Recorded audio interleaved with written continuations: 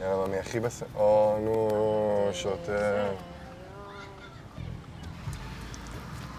רישיון בבקשה. הופה! נו, סיפרתם להורים? סיפרנו מה? סיפרנו מה עלי. חתונה! מה? על מה הוא מדבר? כן, מה, על מה אתה מדבר? מה על מה? שבוע שעבר הייתם ביריד מתחתנים באזור תעשייה בראשון?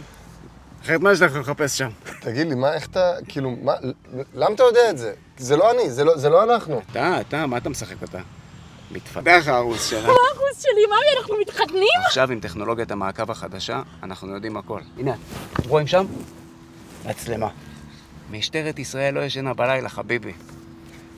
הנה אתה, אסף יחזקאל, אתה עובד במשרדים ברמת החייל, והרכב שלך נצפה גם כמה פעמים ליד המכון כושר החדש הזה שם. וואלה, תגיד באמת, איך שם? אתה ממליץ? אימא'לה, איך הוא יודע את כל זה? טוב, תקשיב, בוא, תן לנו את הדוח, אנחנו ממש ממהרים להורים שלנו. אה, בטח, בטח. אה, הולך לבקש את ידה, אה?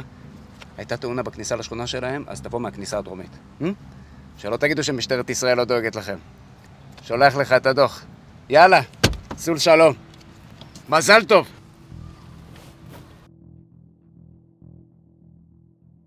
אם חוק המעקבים יאושר בכנסת, גם הפרטיות שלך ושלך כבר לא תהיה שלכם.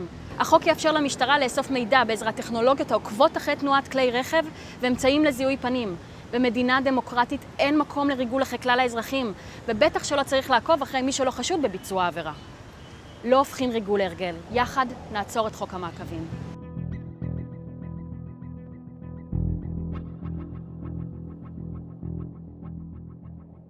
את, מזל הקרב!